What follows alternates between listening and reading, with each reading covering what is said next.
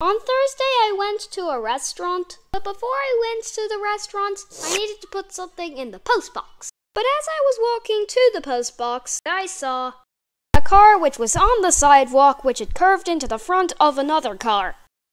That's normal. Don't ask me why the car was like this, because I don't know. The only thing I do know is that it wasn't on purpose.